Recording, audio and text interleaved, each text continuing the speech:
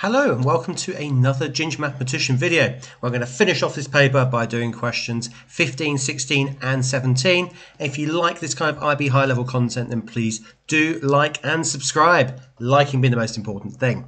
Right, let's go on to question 15 with a slope field. So for the following differential equation here, uh, sine x plus y, and we're given two of the solutions, so called riding the waves of the slope field as you can see here.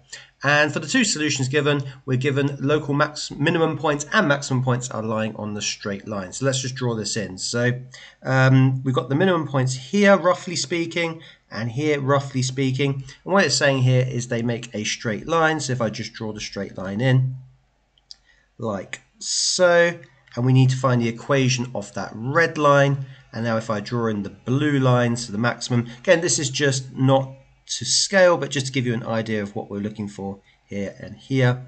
And if I do a blue line like so, not the best blue line I've ever drawn in the world, and you'll see it goes through roughly there. Again, it's not going to be to scale. And what we need to do is find the equation, first of all, of L1. So write that in L1, and then the equation of L2. So just give you a visual representation of what we're looking for. Now remember that the maximum minimum here are turning points. And if we know that are turning points, let me go on to the next slide here, then we know the gradient at that point as well. So for turning points, I'd write this in, whether they're minimum or maxima, then we know that dy by dx is equal to 0. So we have the equation here, so sine x plus y, and therefore we know for both the maximums and minima that sine x plus y is equal to 0. So if to solve this, then what's the opposite of signing something? Well, it's going to be inverse signing on both sides. That gives us, well, this cancels, so we get x plus y is equal to the inverse sine of 0. Now, what is that? Let me draw a quick diagram to show you what we're actually looking for here. So if I draw the sine curve, that we should know off by heart. Of course, this is a calculator paper, so again, you can use the calculator to draw sine. And let's pop this in. I'm going to use radians here. So this is pi over 2, this is pi, this is 3 pi over 2, and this is 2 pi. So 90, 180, 270, and 360. The graph looks like this. So it goes up from 0, 2 pi over 2, then comes back down at pi, and then down to 3 pi over 2 at minus 1 and then back up to uh, 0 at 2 pi. And basically what we're looking for is the solutions at 0 so this is fairly straightforward to see now. So 0 is a solution. So when x is 0 then the function is 0 also at pi and also at 2 pi as well. So the solutions to this are x plus y is equal to 0 pi 2 pi, and actually it just carries on every uh, pi radians or 180 degrees, dot, dot, dot. So the solution to this is x plus y is equal to 0, x plus y is equal to pi, and if we want to continue, if we needed it, x plus y is equal to 2 pi, and so on. So if we solve the first two equations we have here, and write it in the form y equals mx plus c, then we get the equations by minusing x on both sides here. We get the first equation, which is just y equals minus x, nice and straightforward. And here, if we do the same process, so minus x on both sides, then we get y is equal to minus x plus pi.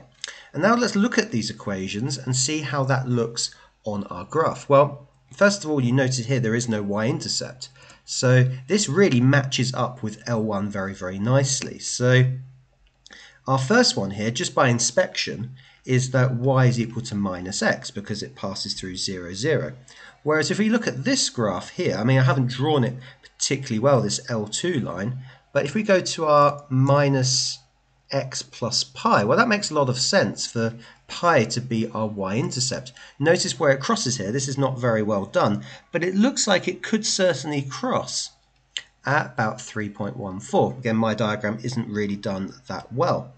But notice this actually fits the conditions that I'm looking for, despite me not drawing it very well. And this clearly looks like y equals minus x plus pi because it crosses here at 3.14. Again, has a very similar gradient to here.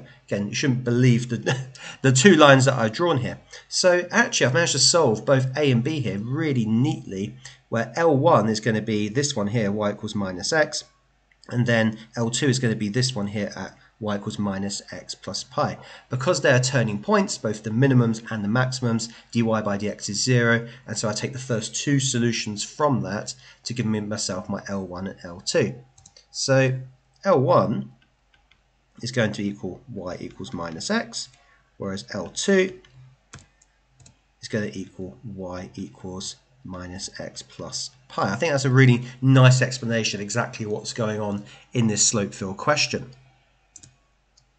So you can see the mark scheme there. Again, the mark scheme is not very helpful to you. Hopefully my explanation has been uh, useful so you can actually understand where these answers are actually coming from. Okay, and question 16. So a nice graph theory question.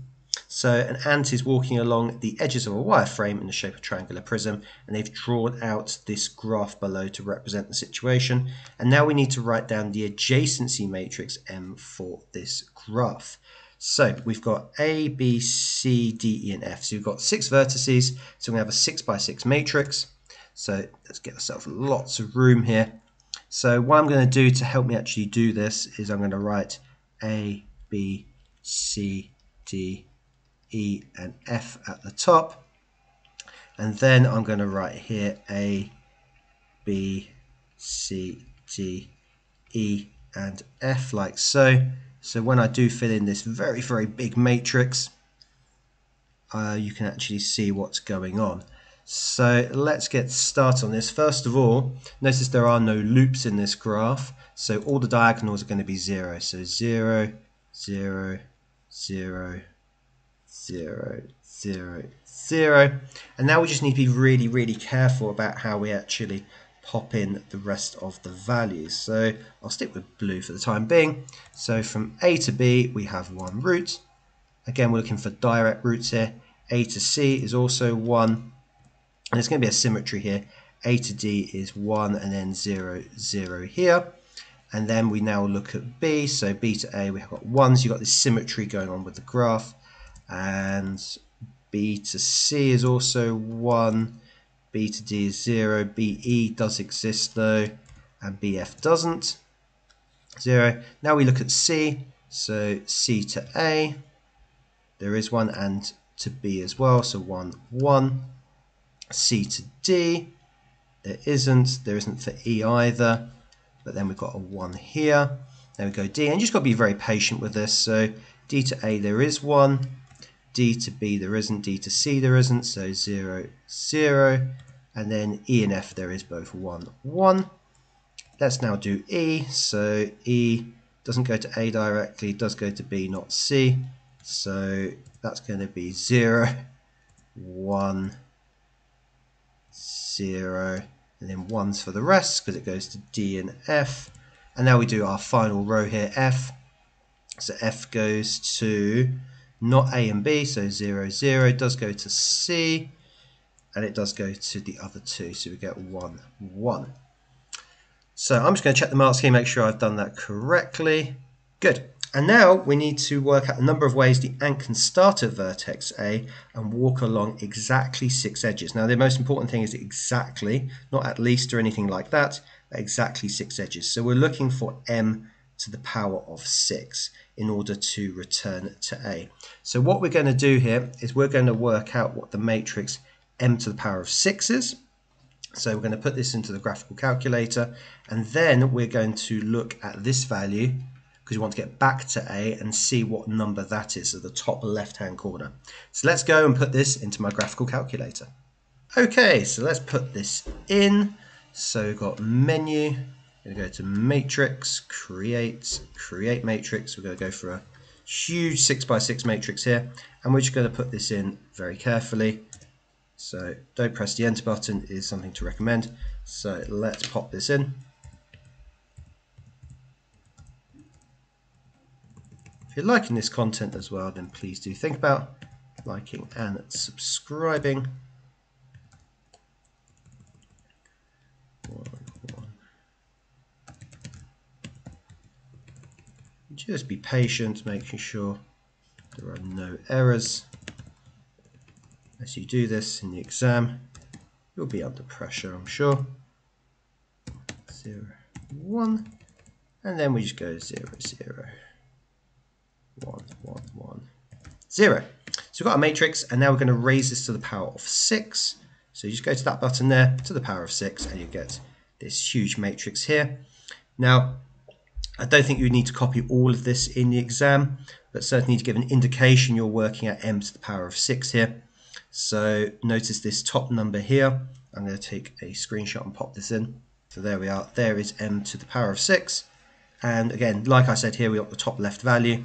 So that's 143. So the answer to our question, uh, there are 143 ways in total. Just a nice clear sentence to represent exactly what we're looking for. Okay, and you can check the mark scheme there. Yeah, some evidence of calculating M6 is all that's needed for that method mark. Okay, and on to the hardest question on the paper. It's question 17. It's a nice mixture of working with some logarithms, but also some transformations of functions as well. So the graph of the function f of x is equal to the natural log of x is translated by the vector ab, which we'll come back to later, so that then it passes through the point 0, 1 and e uh, cubed 1 plus natural log of 2, and somehow we need to work out what a and b are.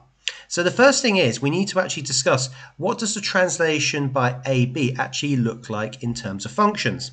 So remember the A here is moving in the x direction and b is moving in the y direction. So we can translate this into f of x minus a plus b. You're probably familiar from working from the form I've just written, two vectors, but you also need to be able to put that the other way around. So what this expression means here so if I highlight here the minus a and plus b, this basically means a translation by the vector positive a, b. So I'm exploiting this fact by actually working the other way around.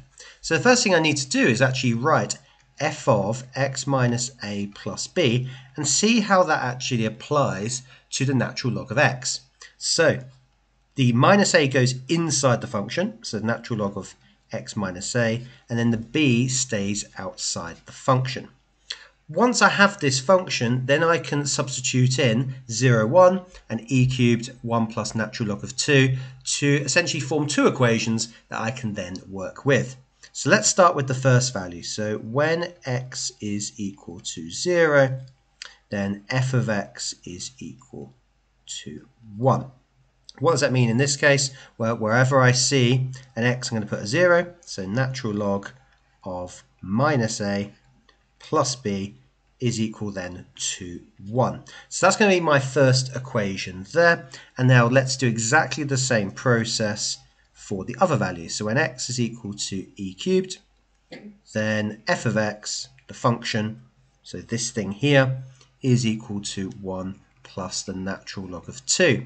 So let's pop that in. So we have the natural log of, wherever I see an x, I'm going to put an e cubed. So e cubed minus a plus b is equal to this expression. So 1 plus the natural log of 2. and the first thing I think here is, can I somehow make the two equations look similar? And there is a way I can actually do this. So what I'm going to do on this side is I'm going to minus b from both sides. And you'll see why we're going to do that in about a couple of minutes. So minus b from both sides, this cancels. So I'm trying to make one side of the equation look the same for each equation. So here I get the natural log of minus a is equal to 1 minus b. And here I'm going to do this in one step here. I'm going to minus b from both sides, but I'm also going to minus the natural log of 2 from both sides as well. I'm going to do this in one step. Hopefully you'll find with that at home. So this cancels, which is the most important thing. And don't forget I've got a minus natural log of 2. So natural log of e cubed minus a minus the natural log of 2 is equal to, well, this cancels here, but I've still got a 1 minus b.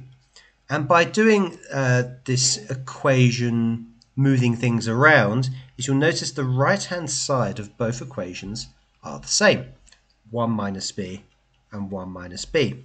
And if that is the case, then it means the left-hand sides of each equation must also be the same.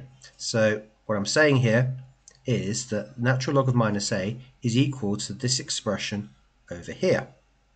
Now I know that, I can write down now that natural log of minus a is equal to the natural log of e cubed minus a minus the natural log of 2.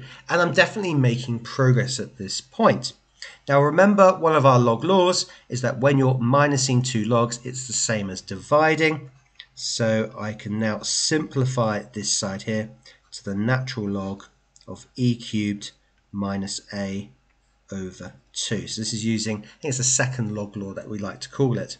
Now the reason I've done this is you can actually cancel the logs. What we're actually doing here is raising both sides to the power of e only when you have natural log something equals natural log something. So I'm only allowed to do this once I have that. And if I don't, then I'm not allowed to do it. So once I've got it in this form, I can cancel the natural logs, raising both sides to the power of e. And that gives me now an equation to work with. So minus a equals e cubed minus a over 2. Now remember e cubed here is just a number, so I can actually solve this for a. the easiest way of doing this, well, let's get rid of the fraction. So what's the opposite of dividing by 2? Well, let's times by 2 on both sides. That gives us minus 2a is equal to, well, this cancels, e cubed minus a. And now we've got a little bit of equation solving to do here. So what I'm going to do is add a on both sides. I think this is the most straightforward way. Minus 2a plus a is minus a. This cancels, giving us e cubed. And now we just want to get a on its own. So we can flip the signs to get a is equal to minus e cubed, like so. So we've got our value for a here. So a is equal to minus e cubed. And now we need to work out what b is here. And probably the easiest part here is to substitute it into this equation. So let me write that over here. We'll keep the same color. So we've got natural log of minus a uh, plus b is equal to 1. So I'm going to take this equation here. Now we know what minus a is equal to. It's e cubed. So we substitute that in. So natural log of e cubed plus b is equal to 1. now remember, the natural log and e are opposite operations here, so they cancel each other out, leaving us with 3. And then we just need to get b on its own, minusing 3 from both sides, giving us minus 2 as our answer for b.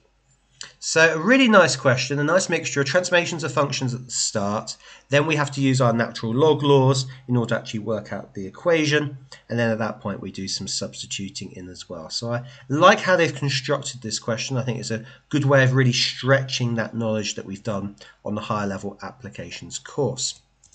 So show you the mark scheme here so you can look through exactly the steps that I've done.